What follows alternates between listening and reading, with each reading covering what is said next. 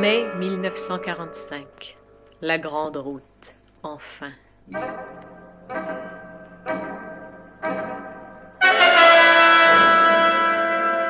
On nous fait monter dans un train. Le joyeux retour, le retour comme nous l'avions imaginé commençait enfin.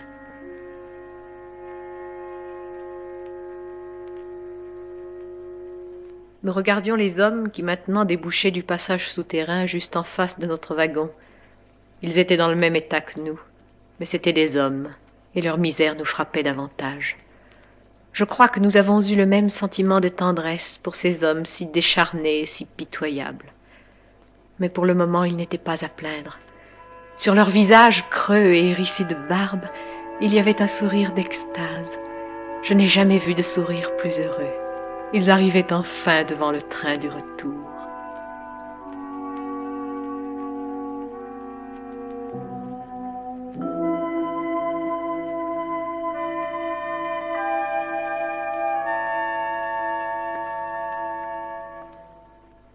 Paysage de Germanie, je vous ai assez contemplé. Je suis lasse de vos prairies, vos lacs, vos sapins et vos blés. J'ai assez vu vos moulins tristes lever les bras sur l'horizon.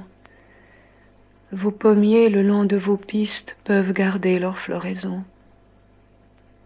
Paysage de Germanie, tous vos pommiers et vos lilas ne peuvent faire qu'on oublie trop de malheurs endurés là. Adieu, adieu terre maudite, laisse-moi donc fermer les yeux. Le train ne court pas assez vite pour m'emporter loin de ces lieux.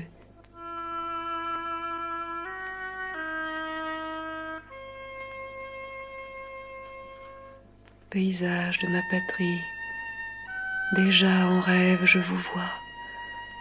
Ô chère colline fleurie et chaude clarté des sous-bois, ô plage d'or, mer violette, blond village aux toits rosés, ô mur blanc de ma maisonnette tout de soleil éclaboussé, ah que m'importe où le train passe, je ne veux plus ouvrir les yeux, déjà sous mes paupières lasses,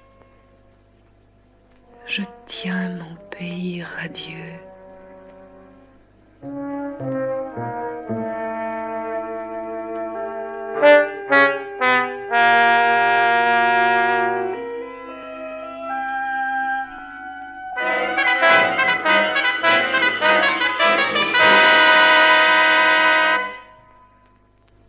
camp a longtemps gardé une réalité plus intense que le monde qui m'entourait.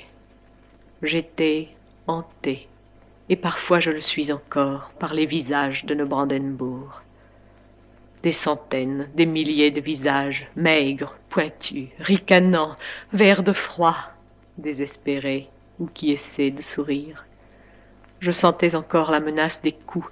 Si quelqu'un s'avançait vers moi un peu vite ou me frôlait de trop près, j'esquissais malgré moi un geste de défense. Et puis l'homme que j'aimais avait trouvé une autre femme. La viande était rationnée, le riz introuvable. La santé ne revenait pas. Le travail était pénible, parfois impossible. Pourtant, je pense que chaque déporté revenu a senti comme moi, au moment de contrariété ou même de chagrin, qu'il n'avait pas le droit d'être malheureux, car il y a derrière nous la foule des morts et des mortes restés au camp, qui fixent sur nous leurs yeux fous.